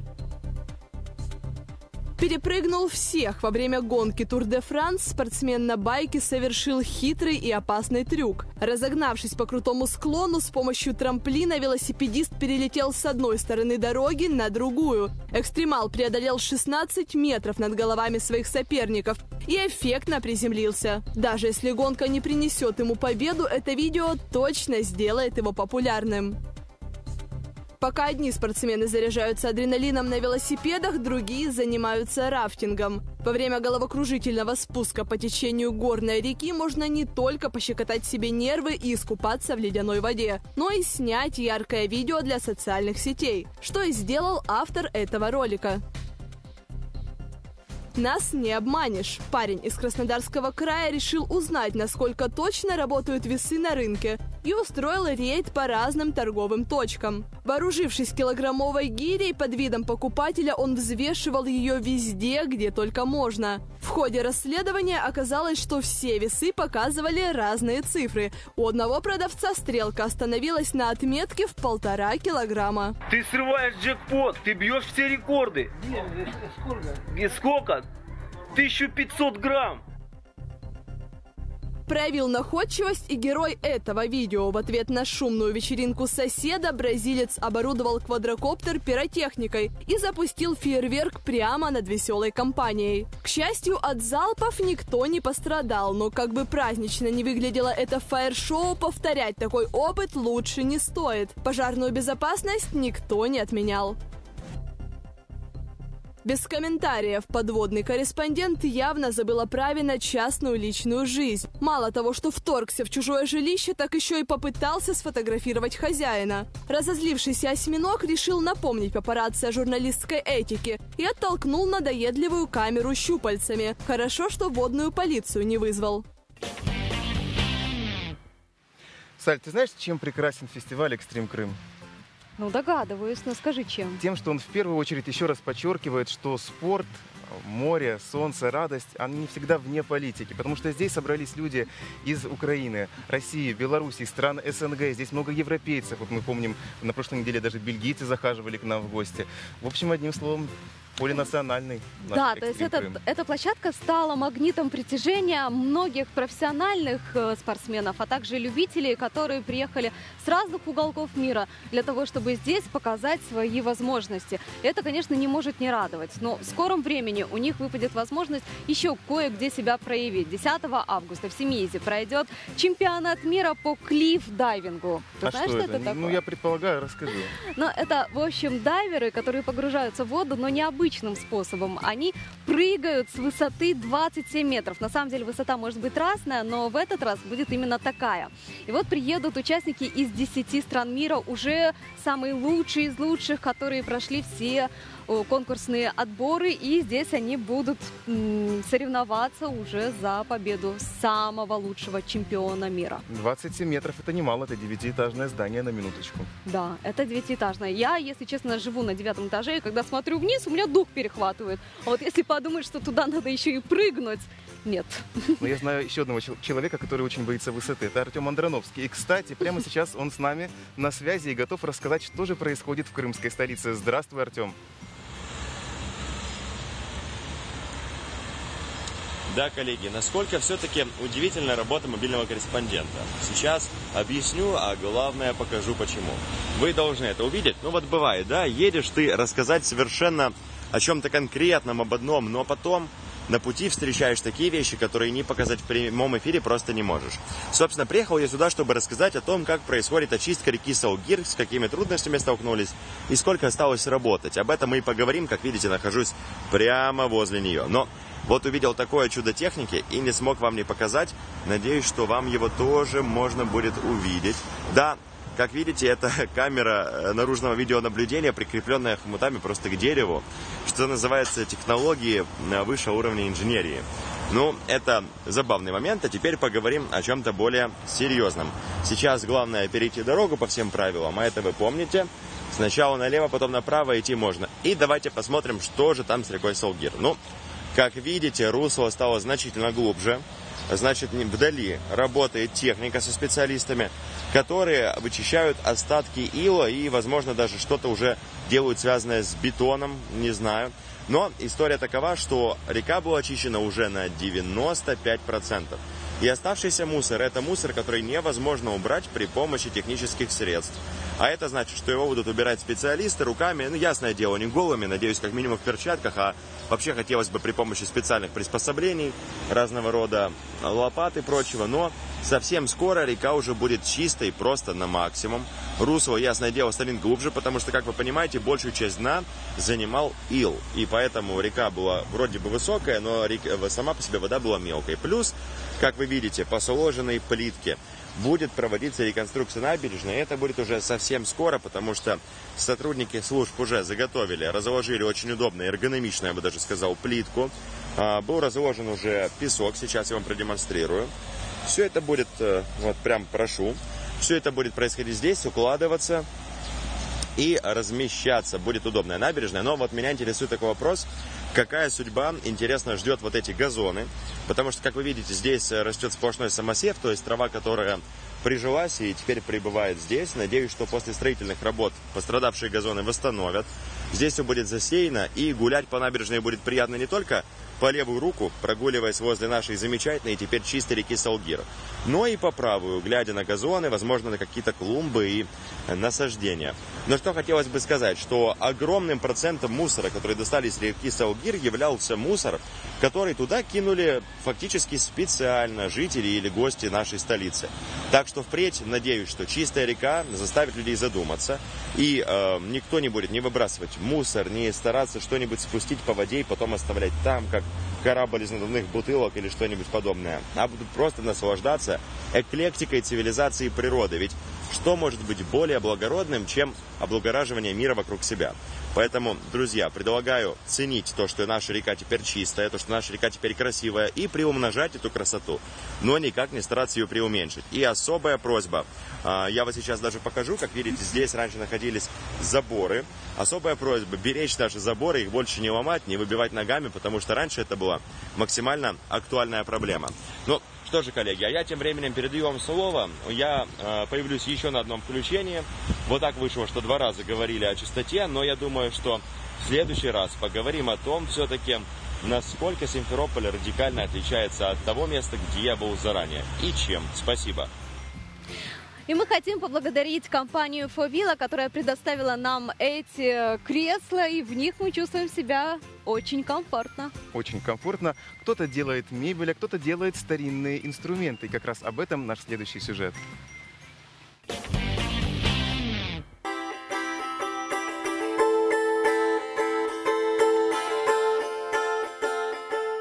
Бандана, кислотная футболка и бородка. Кажется, он должен читать рэп и слушать дабстеп, а он играет на русских народных инструментах и даже сам мастерит их. Любовь к музыке привела Святослава Осипова к проектированию и созданию необычных музыкальных инструментов. Например, у меня в руках балалайка, которая спустя 60 лет обрела новую жизнь. С искусством моделирования Святослав познакомился в 17 лет и вскоре своими руками собрал первый инструмент. Тогда под звуки его самодельной гитары засыпал и просыпался весь двор. Теперь он изготавливает на продажу колесные лиры, кахоны и гусли я понял, что мне нужен станок. Я начал с разработки станка, который будет делать гусли. Потом перешел к разработке гуслей, которые будут делаться на этом станке. Ну и только потом, когда все детали были изготовлены, я уже непосредственно перешел к сборке, настройке. То есть около года на реализацию проекта. Гордость Святослава – колесные лиры или органистры. Это один из наиболее технологически сложных инструментов в репертуаре мастера. Без знания математики, законов акустики и, главное, идеального музыкального слуха здесь не обойтись. Расскажи, пожалуйста, откуда пошло увлечение создавать колесные лиры? Ну, изначально я музыкант, играю на электрогитаре, на обычной гитаре, еще на ряде инструментов. И мне хотелось инструмент, который будет, ну, прям очень необычный. Ну, я прошерстил интернет и нашел колесную лиру. Я понял, что это прям то, что мне надо.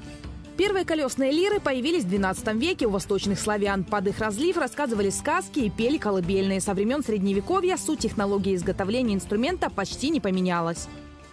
Колесо будет находиться здесь. Поверх колеса будут натянуты струны. Они будут проходить через вот эту коробку. В ней будут находиться клавиши. Каждая клавиша будет отвечать за отдельную ноту. Исполнитель будет, нажимая на клавишу, менять звук и вращать рукой колесо, пользуясь им как смычком. В мастерской Святослава несколько инструментов в процессе рождения. Уже через полмесяца они отправятся к своим владельцам как в Россию, так и за рубеж Испанию, Германию и Францию. За три года мастер изготовил порядка 40 таких лир. По его мнению, успех инструментов не только в уникальной акустике. Каждая лира имеет собственное лицо, кельтские узоры, анималистические рисунки. Их Святослав создает на компьютере, а затем выжигает лазерной установкой. Пять минут и узор готов. На каждую лиру уходит два месяца работы. Спрос на его инструменты постоянно растет. Судя по всему, мода на русскую народную музыку в мире набирает обороты. Ольга Литвиненко, Андрей Псом. Утро нового дня.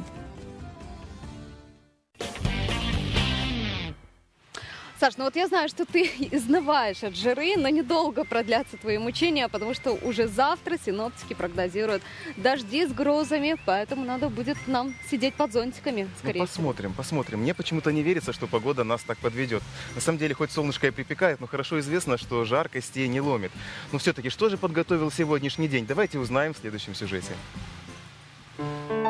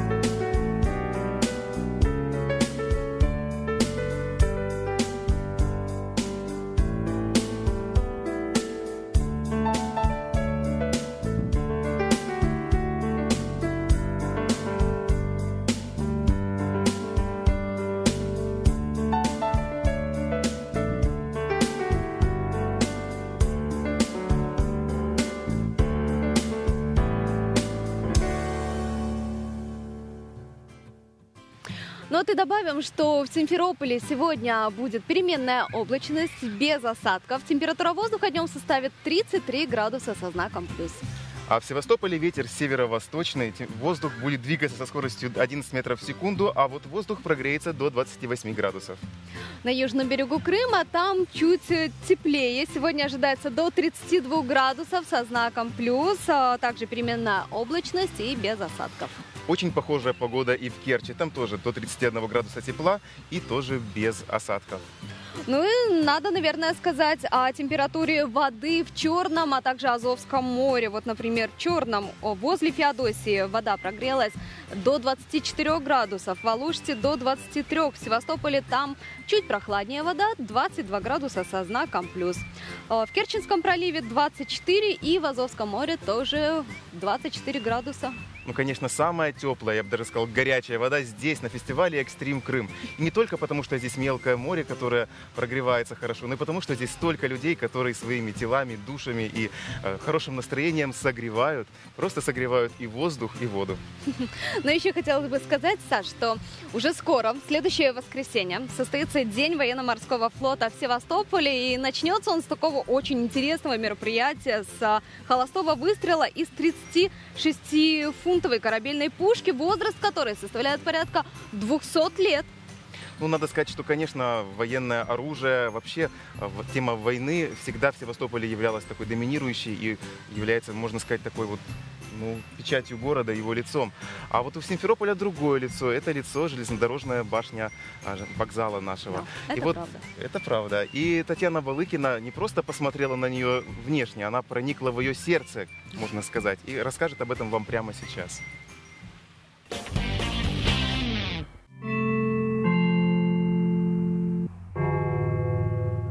Быть в Симферополе и не сделать селфи с вокзальными часами значит не прикоснуться к главной тайне города. Эта башня с циферблатом почти 70 лет притягивает взгляды всех приезжих. Архитектор Алексей Душкин умудрился не только построить интересное здание, но и оставить загадку, которая до сих пор будоражит умы астрологов. Кто-то внес путаницу в расположение знаков. Существует легенда, что в часах зашифрована судьба Крыма. Неправильное расположение знаков зодиака придает им таинственность. Кроме того, вместо девы, весов и тельца изображены змееносец, гончие псы и лебедь. И железнодорожные ворота, и башню строили пленные немцы. Проект, естественно, был одобрен на самом высоком уровне. Материалы использовали только лучшие. Инженеры посчитали, что на постройку этого сооружения, вот эта опорная башня, ушло порядка 20 миллионов кирпичей красных. Ну и обшито оно, конечно, плиткой. Вот он, главный смотритель времени. Николай Есиков уже два года следит за точным ходом симферопольских часов. За время своего существования часы ломались только один раз. Практически все механизмы сохранились с 1952 года. Заменили только латунную шестеренку и стрелки. По словам механика, без перебоев проработает еще лет 50. Мало кто знает, что вокзальная башня – это еще и водонапорная вышка. Трубы и краны соседствуют с часовым механизмом. Она необходима была для снабжения железнодорожного узла и частично железнодорожного района питьевой хорошей водой. Высота постройки вместе со шпилем 42 метра. Всего в ней 4 уровня. Внутри тишина и стук часов. Огромные противовесы бесшумно двигают шестеренки. Все устройство механическое и только бой курантов электронный. Компьютер стоит в помещении, чуть дальше там, а динамики вынесены на саму башню. Сердце башни на третьем уровне. Как ни странно, здесь нет огромных деталей. Заводят часы раз в 10 дней. Механику необходимо сделать 40 оборотов с весом более 200 килограммов.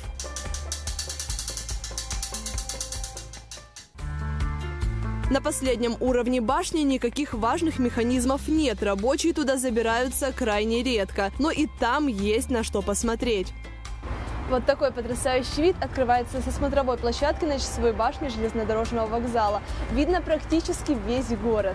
А еще хорошо видно, как готовится вокзал к прибытию первого поезда с материка. Рабочие укладывают плитку, машины подвозят стройматериалы. Уже в декабре на перрон сойдут пассажиры из Москвы. И, конечно же, сделают фото на память с загадочным циферблатом. Татьяна Балыкина, Сергей Козырь. Утро нового дня. Саш, ну вот я уже призналась, что у меня с волейболом отношения не сложились. Расскажи ты. У меня тоже. Как я вообще, мне очень стыдно тоже признаваться, но я никогда в жизни, ни разу в жизни, вот не поверишь, ни Не разу. играл в волейбол? Не играл в волейбол. Я и- тебе и не верю. И в футбол тоже ни разу не играл, даже правил игры не знаю. Вот Я вот играла в футбол и играла на каблуках, в туфлях, и как-то их порвала. И мне очень нравилось играть в футбол, а вот волейбол я не люблю. Ну, я думаю, что у меня есть повод поучиться уму-разуму, потому что прямо сейчас меня ждет гость по этой теме. Я думаю, что он много чего интересного мне расскажет. Да, волейбол это, конечно же, очень примечательная, очень зрелищная игра, и я думаю, что большинство крымчан все-таки играли, в отличие от нас с Сашей, и насколько это у вас получается, вы можете присылать к нам на наши страницы в Инстаграме или ВКонтакте, рассказывайте, а еще лучше присылайте свои фотографии. Ну, а в гостях у нас сегодня Руслан Салихов из города Москвы, который э, волейболист профессиональный, можно сказать, и, наверное, знает об этом все. Здравствуйте, Руслан. Здравствуйте. Руслан, вы волейболист. Да. А, скажите, вот условия игры в Крыму отличаются от вашего родного города Москвы? Да, а, я бы сказал, в, в превосходной степени. Почему? Потому что здесь чудесная погода. Я считаю, что это рай для пляжников, потому что бело-ракушечный песок, э, изумрудное море, очень э, красивые люди, теплота этого края, я думаю, что намного отличается. А технически, вот классический волейбол и волейбол пляжный отличаются чем-нибудь? Так, кардинально. Объясню почему. Потому что а, в классическом волейболе там играют 6 игроков в зале, в кроссовках, в комфортных условиях, и каждый исполняет свое амплуа. А пляжный волейбол, он отличается то, что ты и нападающий, и защитник, и доигровщик, и пасующий, и условия намного сложнее, чем в классическом волейболе. Потому что здесь ветер, солнце, песок, море, красивые женщины. Наверное, самый отвлекающий Да, фактор. да, да, да. А мужской и женский волейбол, ну, скажем, понятно, что полами отличаются, а вот тоже в сути своей имеют различия? Да. Мужской волейбол, а, он преобладает мощь, быстроту, а, тактику и в основном на физические данные. И, а а у женщин более преобладает бы Коварство. сказал, коварство, хитрость, как и в жизни. Здесь тактика у женщин а, и более они агрессивнее как бы подходят. Агрессивнее? Да, на моей практике, по крайней мере, так. Но красивее. Конечно, женский волейбол наблюдать намного красивее. А ск- сколько вы уже играете в эту игру? В эту игру я играю 20 лет, мне 50 лет. Э, Это секрет вашей молодости, Да, вечной. да, да. А как вы к этому пришли? Почему именно волейбол? Почему волейбол? Потому что я с детства любил играть в волейбол, потому что раньше на, на всех площадках, я родился в, а, в СССР, а, играли в волейбол парковый. У нас не было пляжного волейбола, и мы играли в парке. На Со песке школы, нет, ну когда на песке, когда на, гру- на грунтовом покрытии. И с тех пор я полюбил э, волейбол играть именно на природе. А потом к нам пришел пляжный волейбол, он сейчас завоевывает огромную у нас популярность, наши ребята завоевывают. Вот недавно как, как раз стали чемпионами мира наши ребята. Он в закрытых помещениях, в открытых площадках, он везде набирает популярность. А нужны какие-то особенные данные для того, чтобы заниматься вот волейболом? Я знаю, для баскетбола нужен рост, то есть я, например, не подойду. А для волейбола? Для волейбола я считаю, я считаю, что для профессионального, конечно, рост имеет значение, но для пляжного волейбола, как показывает мировая практика, нет. Не всегда высокие пары бывают э, в призовых местах. Вот, например, Бруно, у него рост метр семьдесят всего, он чемпион мира, олимпийский чемпион мира. Но есть ребята, которые низ, низкорослые и быстрые, потому что в пляжном волейболе в основном это ноги. Самое главное? Ну, практически. А вы как считаете, волейбол это интеллектуальная игра? Да. Именно пляжный волейбол – это волей- а, игра интеллектуальная, там а, нужно знать очень много тактик, очень много схем и подстраиваться под это. Если в классическом волейболе есть а, тактика своя, то в пляжном волейболе она отличается, потому что нас всего двое, и мы должны защитить все поле. И мы переговариваемся даже на своем языке. А можете рассказать о, о жестах этого языка? Ну, э, жесты языка... Если не секрет, конечно. Ни- ничего секретного здесь нет. Каждая ка- пара показывает сзади, какую комбинацию он будет выполнять. Например, он будет говорить, закрывать эту зону. Или показывать это, или этому блок не ставить, или ставить буду этому блок. Там и напарник это должен исполнить, потому что именно синхронизированность напарников э, это 50% победы. А много жестов в этом языке? Нет, их немало. Эм, ну, каждая пара обычно вырабатывает свои жесты, но осно- основные, как говорится, международные, их немного. Их там А скажем, а, эти жесты должны быть в тайне от членов другой противоположной команды? Ну, естественно, вы же э, показываете им ваш следующий ход, вашу атаку, Соответственно, защиту. чем более тайна будет зашифрована, тем криптографически это скрыто, Ну да, больше шансов победить. То есть, да, то есть как мы будем действовать? А здесь вы сколько дней уже пребываете на экстрим Крыме? Я на экстриме сначала и очень доволен атмосферой, доволен организацией этого праздника. Она проходит на высшем уровне. Поверьте, я играл на Уральских горах, а, на Санкт-Петербурге, в прекрасном пляже солнечном. Но та атмосфера, которая присутствует здесь, она, конечно, уникальна. Я считаю, что это жемчужина пляжного волейбола в России. Ну, по крайней мере, я думаю, что все постарались, чтобы сюда было приятно приезжать. И действительно Да. много людей. Очень приятно. У меня так к вам маленькая просьба будет. Пожелайте что-нибудь крымчанам и всем гостям полуострова, что-нибудь хорошее. Я желаю им оставаться такими же солнечными, какие они есть на самом деле, такими добрыми, доброжелательными и открытыми людьми, какими они есть. Им даже желать нечего, они на самом деле такие. Мне здесь очень приятно. Спасибо вам большое. У нас в гостях Руслан Салихов, город Москва, э, волейболист. Нам сегодня много чего интересного рассказал. Спасибо вам. Вам спасибо. А, мы двигаемся дальше по волнам нашего эфира и Крым онлайн. А я присоединюсь к своей соведущей. На Евпаторийском шоссе очевидцы засняли водителя, создавшего аварийную ситуацию на дороге. Пока автомобилисты стояли в пробке, этот мужчина решил сэкономить время и выехал на встречную полосу. К счастью, обошлось без происшествий. А вот такой сольный концерт засняли очевидцы на одной из улиц Севастополя. Мужчина, видимо, уставший от городских пробок и июльской жары, решил расслабиться и спел прямо за рулем автомобиля. В социальных сетях комментаторы оценили вокальные способности солиста, но за безрассудство на дороге осудили. Забыли о правилах дорожной безопасности и эти рулевые. Разогнавшись на скутерах по трассе, молодые люди попытались исполнить опасные трюки. Но как бы эффектно не выглядел стандрайдинг, заниматься этим экстремальным видом спорта нужно в специально предназначенных местах, а не на проезжей части. Этим роликом в социальных сетях поделился турист из Москвы. Пока некоторые боятся заходить в море к медузам, мужчина бесстрашно познает подводный мир и знакомится с его обитателями. Яркие кадры, снятые в бухте Ласпи, впечатляют. Пока одни изучают полуостров под водой, другие смотрят на него с высоты птичьего полета. Отдыхающий из Смоленска поднялся на параплане над Фиолентом и снял это на гаджет. От одного вида дух захватывает, только представьте, какие ощущения можно испытать во время полета.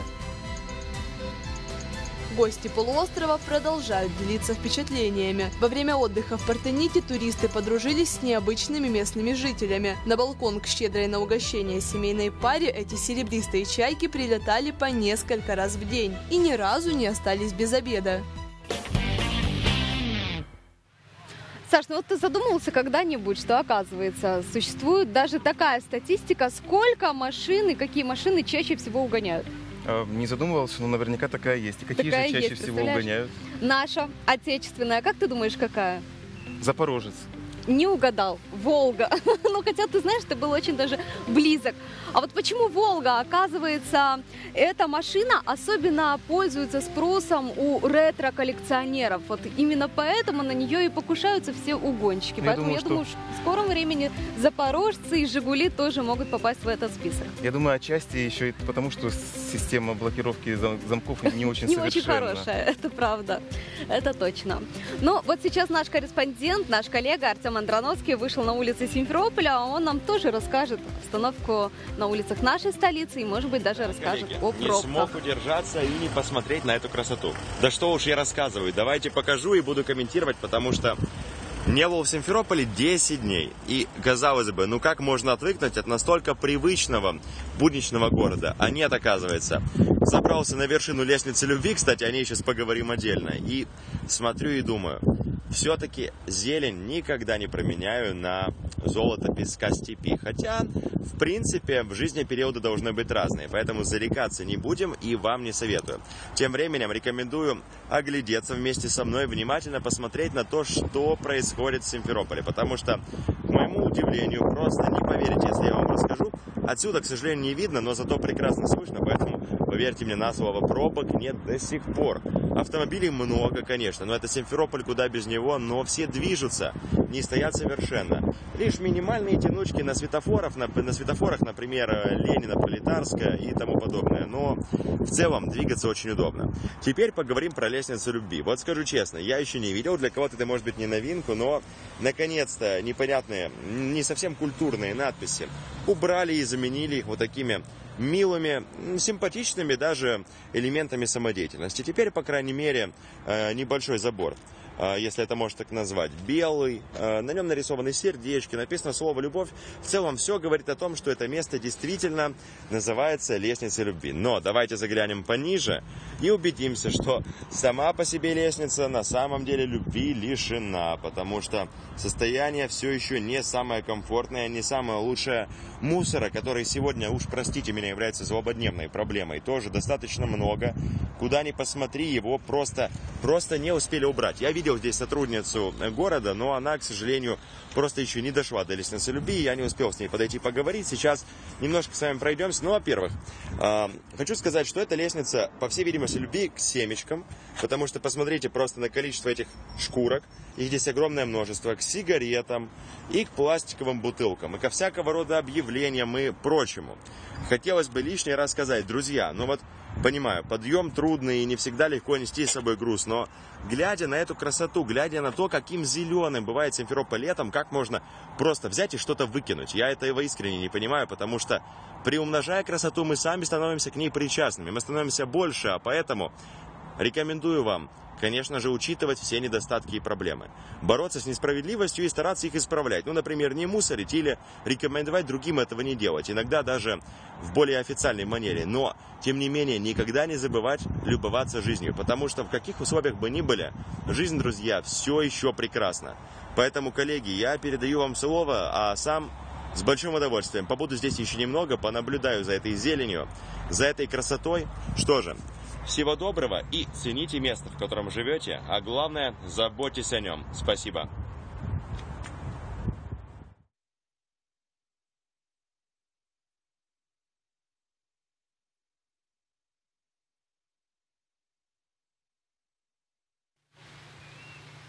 Но Крым действительно очень богат достопримечательностями. И даже вот, казалось бы, Оленевка, что тут такого? Но столько всего вокруг. Вот если посмотреть прямо, затонувший корабль. Еще чуть-чуть прямее будет знаменитый маяк. Да, есть, конечно же, на что посмотреть. Хотя, мне кажется, самая главная достопримечательность – это, конечно же, фестиваль «Экстрим Крым», ради которого сюда все и приезжают отдохнуть, полюбоваться видами да, действительно, и есть какие виды здесь посмотреть. Кстати говоря, еще одна достопримечательность, о которой почему-то многие забывают, это усадьба генерала Попова, которая находится прямо за моей спиной. Белоснежное здание в классическом стиле. Его стоит посетить. Я думаю, что мы непременно это сделаем. Ну, после эфира. А сейчас мы предлагаем посмотреть сюжет Артема Андроновского о том, что уже интересного ему удалось увидеть там, на водопаде. Мы отправляемся к водопаду Серебряные струи, что находится в пяти километрах от Соколиного, Бахчисарайский район. Но эта достопримечательность постигла непростая участь. Об этом немного позже.